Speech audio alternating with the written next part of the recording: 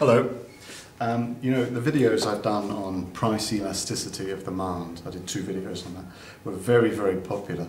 Uh, I got a lot of views on that, and um, and it's clear to me that this, you know, this fundamental tool for an economist of elasticity, there are people out there who really want to understand that because that's going to kind of gateway to much of uh, microeconomics.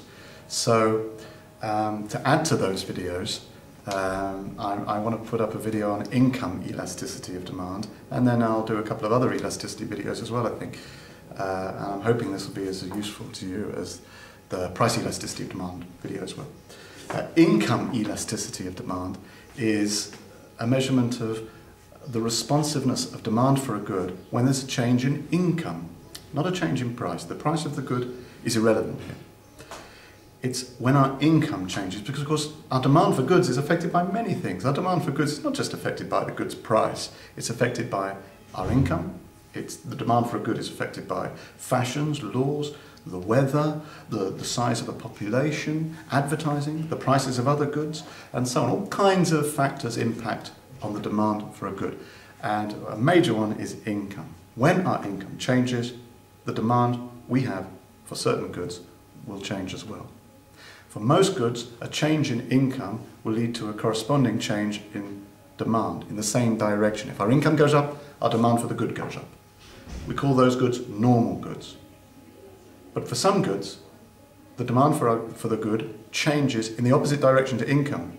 If our income rises, our demand for that good would fall. If our income falls, the demand for the good would rise. These goods are called inferior goods. Okay, so let's explore this a little bit. Income elasticity of demand then. The, the equation for calculating the value of elasticity, uh, income elasticity of demand for a good is as follows. We use Y for income, of course, because I is reserved for investment. So income elasticity of demand is the income divided by quantity times change in quantity over change in income. Let me give you an example. Let's imagine that uh, my income rises from £100 to £120. Okay? And let's explore what happens to my demand for steak. I like steak. Okay, I like steak, but I just can't afford to buy as much of it as I'd like to buy.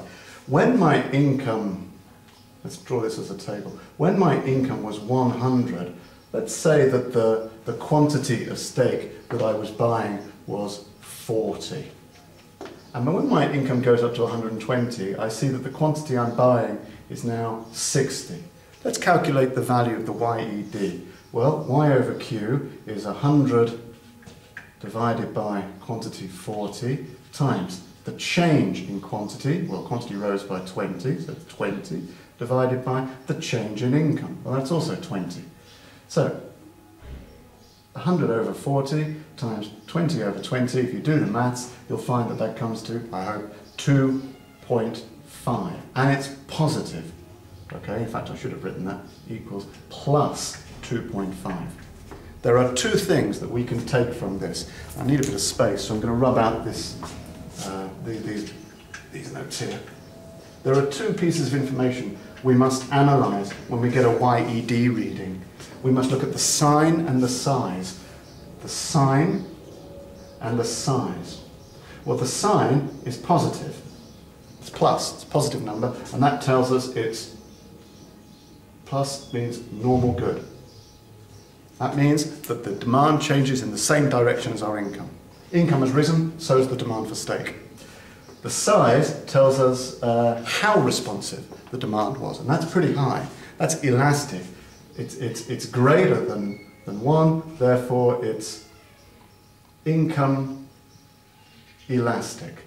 In fact, for every 1% change in my income, I got a 2.5% rise uh, in the demand for this good. For every 1% rise in my income, 2.5% rise for the good. But let's imagine that at the same time as my increasing demand for steak, um, I also used to buy uh, bus tickets. Sorry, it's a boring example, but uh, it's Friday morning I'm just too tired to think of anything better. So bus tickets. Now let's imagine that uh, when my income when my income was 100, I used to buy 200 bus tickets. But when my income rose to 120, I bought less bus tickets. I only bought 180 bus tickets. I used to, let's say, uh, treat, be able to afford now to treat myself to a taxi ride instead of getting the bus on Friday mornings when I'm very tired. So what does this do to YED? Well, let's work it out again. Y over Q is 100 over 200 times change in Q. Now this is minus 20. Very important you put the minus in. Minus 20 over change in Y. Well, that Y has risen, income has risen by 20. There, look at that now. That calculates to minus 0.5. And that reveals quite a, a lot. Again, we must look at sign and size. The sign tells us it's inferior. It's an inferior good. The demand for it changes in the opposite direction to our income change. My income rose, my demand fell.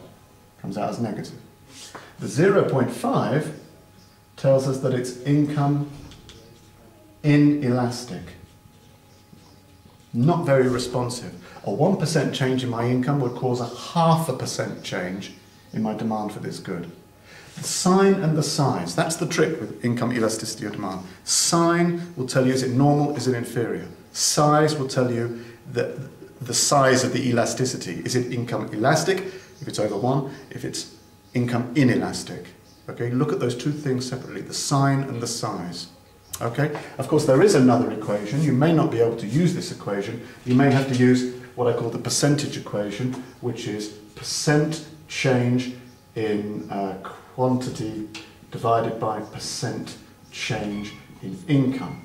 Because you might just be told something like, uh, after a 10% rise in income, my demand for, uh, for bus tickets falls by 20% or something like that, in which case you'll have to work with percentages because you don't have absolute numbers. But the interpretation is exactly the same. Okay, that's income elasticity of demand. How, how responsive our demand for a good is and in which direction it goes following a change in income. Okay, thanks very much. See you.